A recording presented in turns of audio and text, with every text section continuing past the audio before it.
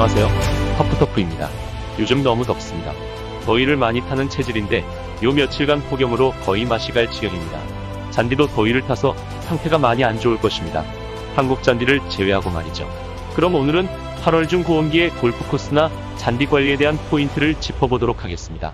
보통 골프 코스에는 세 가지 종류의 잔디가 있는데 한지형 잔디인 bentgrass와 Kentucky bluegrass, 난지형 잔디인 한국 잔디가 있죠. 대부분의 퍼팅 그린은 bentgrass로 조성되어 있고 티잉그라운드나 그린 칼라 또는 페어웨이는 Kentucky bluegrass로 되어 있습니다. 또 페어웨이가 난지형 잔디인 한국 잔디로 되어 있는 코스가 있습니다. 그럼 또 모셔봐야 할 분이 있는데 출연료를 전혀 받지 않고 이 채널에 도움을 주시는 터프신님입니다. 지금 이 시기는 굉장히 더운 시기입니다. 2020년에는 계속 비가 와서 그나마 서늘했는데 말이죠. 폭염으로 한지형 잔디들이 대부분 힘을 못 쓰고 있는 것 같고 수분이 조증상과 건조 증상 같이 여러 가지 문제가 현재 발생하고 있습니다. 터프심님께서는 8월 잔디 관리의 문제점과 이를 극복하기 위해서는 어떤 것들이 필요하다고 보십니까? 올해 같은 8월은 정말 사람이나 잔디나 힘든 시기입니다. 한국 잔디를 제외하고 말이죠. 그런 의미에서 먼저 한지형 잔디의 경우를 볼까요? 첫 번째로 그린 잔디인 벤트그레스의 경우 격일로 깎기 작업을 하는 것이 좋으며 예고를 상향 조정하여야 합니다. 한여름에는 잔디가 연약하므로 광합성 효율을 높이고 관부를 보호하기 위함이죠. 이는 물리적 스트레스를 최소화하는 데 도움을 줍니다. 두 번째로는 시비 방법입니다. 고온에 대한 내성을 높이고 내병성이나 내답합성을 향상시키기 위하여 질소를 0.3g, 인산을 0.2g, 칼륨 0.5g을 1평방미터당 연면 시비 방법으로 매주 살포합니다. 시비량을 최소화하는 것이죠. 고온기에 햇볕이 강하면 잔디의 드라이 스팟 등의 건조해가 발생할 수 있습니다. 사진과 같이 말이죠. 대부분의 골프장에는 스프링클러가 설치되어 있어 관수에는 어려움이 없지만 너무 배수가 잘 되는 지역이나 빠르게 마르는 부분이 있습니다. 이런 지역은 수시로 인력 관수가 필요한 부분이죠. 관수가 제대로 되면 잔디 표면과 토양 온도를 떨어지게 할 수 있습니다. 잔디가 고온에 버틸 수 있는 환경을 만들어주는 것이죠. 세 번째로 폭염은 잔디의 문제를 발생시킬 수 있는 조건을 만들어주는데 Kentucky bluegrass에 발생하는 습윤 위조 증상, fairy ring, summer patch, 뿌리 Pythium입니다. 각각의 이름이 달라 문제가 되는 증상의 종류가 다르다고 판단할 수 있습니다. 하지만 기본적인 문제 발생의 원리는 모두 같습니다. 신기하죠?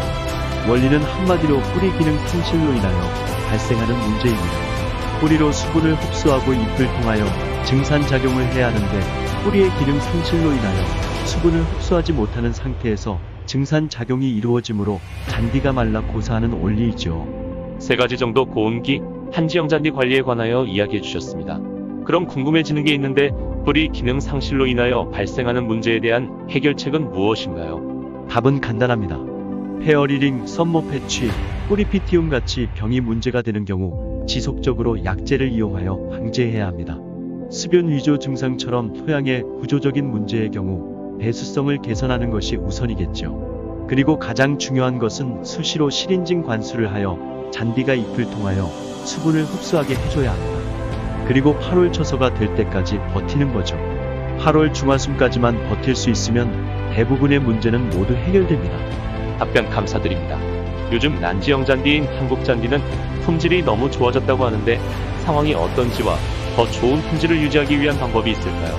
말씀대로 한국 잔디의 생육이 요즘 너무 좋습니다. 올봄 저온 현상으로 엄청 고생한 골프장이 지금 다 보상받는 느낌입니다. 한국 잔디의 고온기 관리 방법은 한지형 잔디와 다르게 예보를 하향 조정해야 합니다. 이를 위해선 깎기 횟수를 증가시켜야겠죠. 잔디는 깎기 횟수를 많이 할수록 밀도가 높아져 더 높은 품질의 잔디가 되죠. 그리고 이 시기에는 잔디가 더 잘 자랄 수 있게 시비량을 증가시켜야 합니다. 한 달을 기준으로 질소 3g, 인산 1g, 칼륨 2g을 1평방미터당 살포하기를 권장합니다. 그리고 가장 중요한 것이 있는데 이전에 large patch 방제에 관하여 이야기한 적이 있습니다. 궁금하시면 상단에 표시된 동영상을 참고하시고 중요한 것은 8월 중하순 태풍이 오기 전 일주일 간격으로 2회 반드시 large patch 방제 시약을 해야 한다는 것입니다. 이상 한국잔디 고온기 관리 방안이었습니다. 감사합니다. 습윤 위조 증상, fairy ring, summer patch, 뿌리 Pythium에 대한 구체적인 내용에 대하여 아직 질문할 것이 많이 있는데 출연료도 드리지 못하는 상황이기 때문에 다음에 다시 출연하여 많은 정보를 주시기 바랍니다. 물론 그 전까지는 무료 출연을 부탁드리겠습니다. 지금까지 수고해주신 터프심님께 감사드리며 이상 터프터프였습니다. 어떻게 도움이 되셨나요? 그렇다면 구독, 좋아요 한번 눌러주세요.